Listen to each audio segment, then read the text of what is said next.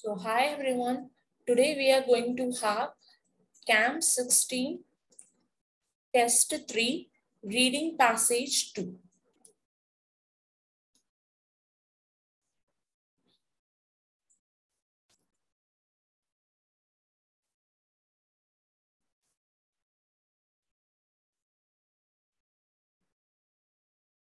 So it's from Cambridge 16 Test 3, Reading Passage 2.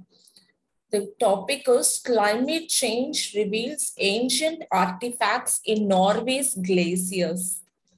Well, above the tree line in Norway's highest mountains, ancient fields of ice are shrinking as Earth's climate warms.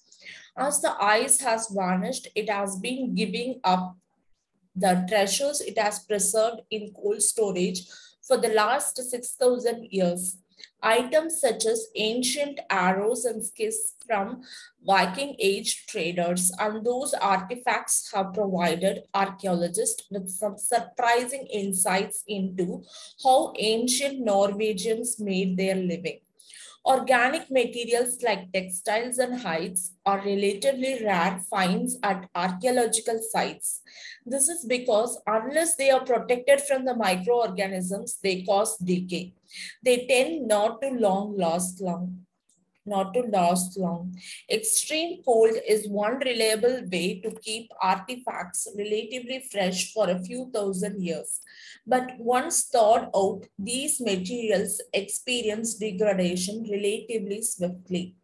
With climate change shrinking, ice cover around the world, glacial archaeologists need to raise the clock to find newly revealed artifacts preserve them and study them. If something fragile dries and is wind blown, it might very soon be lost to science, or an arrow might be exposed and then covered again by the next snow and remain well preserved. The unpredictability means that glacial archaeologists have to be systematic in their approach to field work. Over a nine-year period, a team of archaeologists, which included Lars Pilo of Oppland County Council, Norway, and James Barrett of the McDonald Institute for Archaeological Research, surveyed patches of ice in Oppland, an area of south-central Norway that is home to some of the country's highest mountains. Reindeer once congregated on these icy patches in the late summer months to escape biting insects, and from the late Stone Age, hunters followed. In addition, trade routes threaded through the mountain passes of Oppland, linking settlements in Norway to the rest of Europe. The slow but steady movement of glaciers tend to destroy anything at their bases. So the team focused on stationary patches of ice, mostly about 1,400 meters. That ice is found amid fields of frost, weathered boulders, fallen rocks, and exposed bedrock that for nine months of the year is buried beneath snow. Field work is hard work. Hiking with all our equipment, often camping on permafrost, but very rewarding. You are rescuing the archaeology, bringing the melting ice to wider attention, discovering a unique environmental history, and really connecting with the natural environment, says Barrett. At the edges of the contracting ice patches, archaeologists found more than 2,000 artifacts, which form the material record that ran from 4000 BCE to the beginnings of Renaissance in the 14th century. Many of the artifacts are associated with hunting. Hunters would have easily misplaced arrows and they often discarded broken bows rather than take them all the way home. Other items could have been used by hunters traversing the high mountain passes of Oppland, all-purpose items like tools, kits, and horse truck. Barrett's team radiocarbon dated 153 of the artifacts and compared those dates to the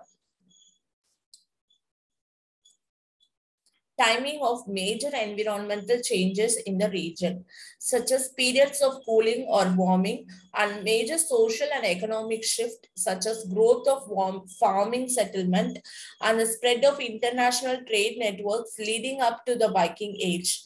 They found that some periods had produced lot of artifacts, which indicates that people had been pretty active in the mountains during those times. But there were few or no signs of activity during other periods. What was surprising according to Barrett was the timing of these periods. Oppland's mountains present daunting terrain and in periods of extreme cold, glaciers could block the higher mountain passes and make travel in the upper reaches of the mountains extremely difficult. Archaeologists assumed people would stick to lower elevations during a time like the late Antique Little Ice Age, a short period of deeper than usual cold from about 536 to 600 century. But it turned out that hunters kept regularly venturing into the mountains even when the climate turned cold based on the amount of stuff they had apparently dropped there. Remarkably, though the finds from the ice may have continued through this period, perhaps suggesting that the importance of mountain hunting increased to supplement failing agricultural harvest in times of low temperatures, says Barrett. A colder turn in the Scandinavian climate would likely have meant widespread crop failure, so more people would have depended on hunting to make up for those losses. Many of the artifacts Barrett's team recovered date from the beginning of the Viking Age, the 700s through to the 900th century. Trade networks connecting Scandinavia with Europe and Middle East were expanding around this time although we usually think of ships when we think of Scandinavian expansion. These recent discoveries shows that plenty of goods traveled on overland routes like the mountain passes of Oppland. And growing Norwegian towns along with export markets would have created a booming demand for hides to fight off the cold, as well as antlers to make useful things like combs. Business must have been good for hunters Norway's mountains are probably still hiding a lot of history and prehistory in remote ice patches. When Barrett's team looked at the dates for their sample of 153 artifacts, they noticed a gap with almost no artifacts from about 3800 to 2200 BCE. In fact, archaeological finds from the period are rare all over Norway. The researchers say that could be uh, because many of those artifacts have already disintegrated or are still frozen in the ice. That means archaeologists could be extracting some of those artifacts from retreating ice in years to come. So with this, I go to the question from 14 to 19. So I have to match the information to the statement. Yes, an explanation of uh, explanation for weapons being left behind in the mountains. So weapons are left behind the mountains. With this keyword, I go to the passage. So see this. Hunters would have easily misplaced arrows and often discarded broken bows rather than take them all the way home. So what happens is the hunters traversing high mountain passes, all-purpose items like tools, kits, and horse track have been placed there. You understand? They easily misplace the arrows and often discarded as broken bows. So this is the suitable answer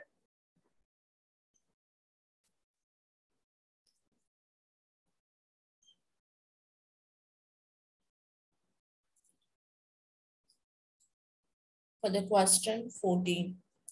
So the answer is D. A reference to the physical difficulties involved in an archaeological expedition. So physical difficulties is my keyword. So see this field work is a hard work. Hiking with all our equipment after camping on permafrost, but very rewarding. So you're rescuing the archaeology, bringing the melting ice to wider attention, discovering a unique environmental history, and really connecting with the natural environment, says Barrett. So yeah, I go with paragraph C. Explanation why less food may have been available. Explanation for why less food has been available.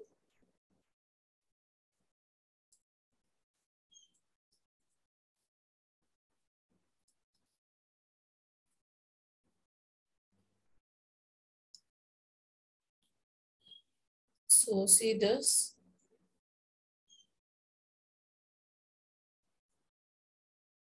A colder turn in Scandinavian climate would likely have meant widespread crop failures. So more people have to depend on hunting to make up those losses. Hence the paragraph is F. Crop failure indicates that there is less food available. So this is a keyword and a reference to the possibility of future archaeological discoveries. So it's all about discoveries in possibility of future archaeological discoveries.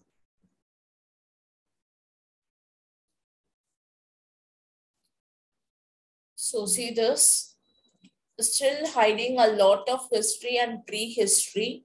When Barrett's team looked at uh, dates, their sample of 153 artifacts, they noticed a gap with almost no artifacts. So extracting some of those artifacts from retreating uh, years, eyes in years to come. So something that led to the discovery. 17th one is H.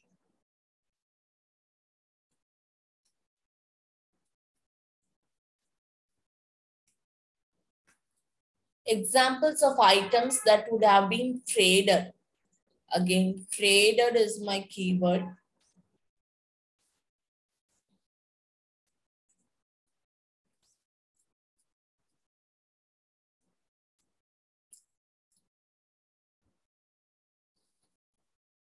So see this trade networks connecting Scandinavia with Europe, Middle East were expanding around this time that shows it's uh, something related to trade and trade routes. So I hope with option G. A reference to the pressure archaeologists are under to work quickly.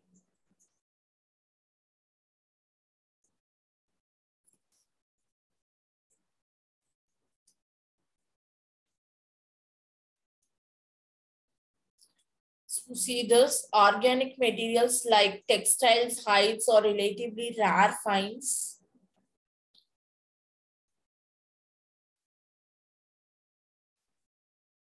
This is because they, unless they are protected from microorganisms that cause decay, they tend not to last long. Extreme cold is one reliable way to keep artifacts relatively fresh for a few thousand years, but once thawed out, these materials experience degradation relatively slowly. So what does this mean?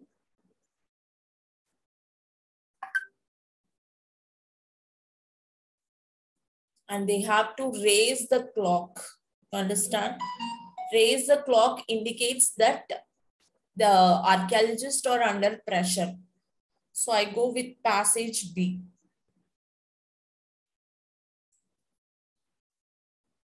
Interesting finds at an archaeological site.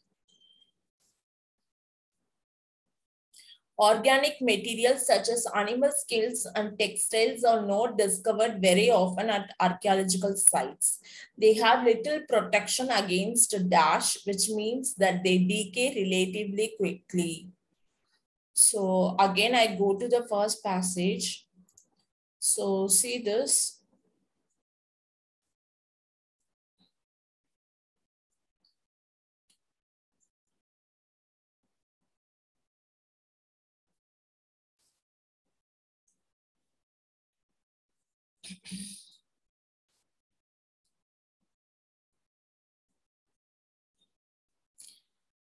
They protected from the microorganism that causes decay.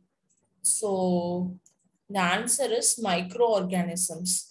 Decay relatively quickly, but this is not always the case. If temperature or low enough, fragile artifacts can be preserved for thousands of years.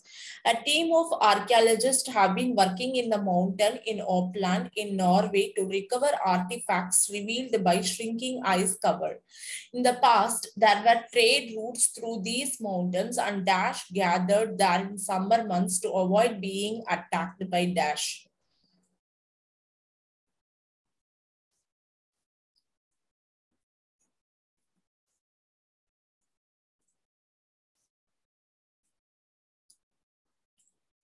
So see this.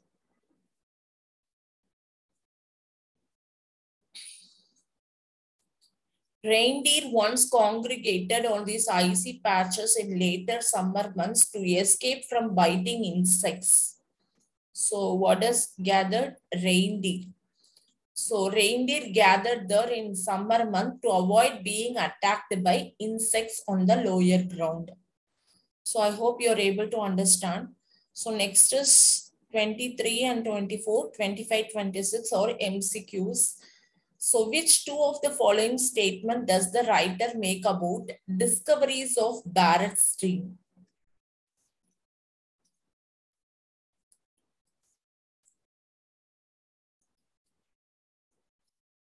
So I go with um, B and C hunters went into the mountains even during periods of extreme cold, the number of artifacts from certain time periods are relatively low. So this is because, see the paragraph F, it turned out hunters keep regularly venturing into the mountains. And paragraph C, number of artifacts from certain time period was relatively low. So these lines indicates that B and C. And that is from paragraph E.